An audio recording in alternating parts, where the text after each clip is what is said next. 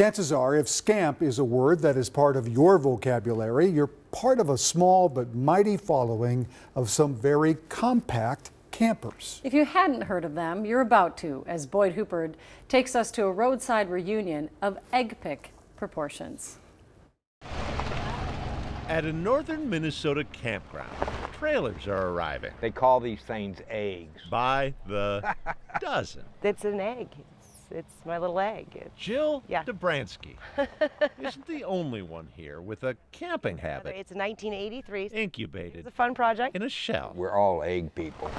Egg people We came from Okina, Illinois. scrambling from all parts of the country Grand Rapids, Michigan. Chesterfield County, Virginia. to Cass County Strasburg, Colorado. in their scamps. Are you a scamper?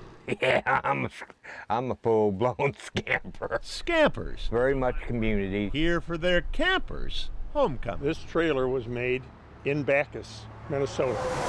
That's where it rolls out. This is where it was born. Off the main road Backus is where you'll find Micah Evelyn. I am the CEO and president. whose grandfather launched his small camper, or Scamp, 50 years ago this month. A trailer light enough, early ads promised, to be pulled by a compact car. So This is where all the interior cabinets get installed. Today, 70 workers in this town of 300 I put all the decals and stickers on. build roughly 650 scamps a year. We just make sure everything is tip top. No dealers order straight from the factory. This is a trailer that is sold. Current wait to get one of your own? 14 months. Then pick it up in Backus or have it shipped. I could see it. I could do. Micah's grandpa Fabricing and insulating. could not have foreseen this. Turn your votes in for the coolest scam. Thank you very much. It's a cult thing. It's a cult thing. An exterior design that's barely changed in 50 years Well, this is a quilt I made. has somehow remained geek chic. It's the toaster. Doesn't it remind you of those old fashioned toasters? Jim and Ruth Newell brought their scamp here from Michigan. We drive down the road and we pass those big, huge honking things, and we said, I hope they're reading that. That's our motto. The name of my trailer is Janie. John Holderfield That's me. is the name of the YouTube host It is beautiful. with more than 16,000 subscribers Okay, this video to his scamp ventures.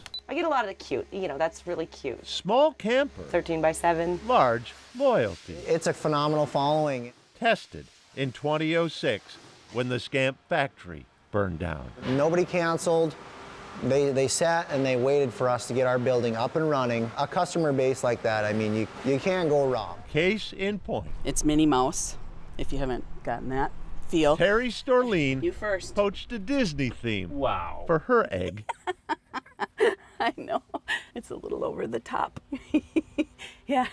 Yeah, it's pretty much Minnie everywhere. The perfect theme for a mini camper We're like oddballs. hatched in mini soda. Boyd Huppert, KARE 11 News, It's a special breed of person. Cass County. I think those might be my people. I think those are our people. They look like fun. Fabulous. The Scamp Factory is taking the wraps off a 12,000 square foot expansion. Mm. The company expects to increase production by more than 30%. Wow. Well, Especially people are after- waiting 14 months. I After know. they see that story from Boyd and look how fun those people are all getting together, having a good time.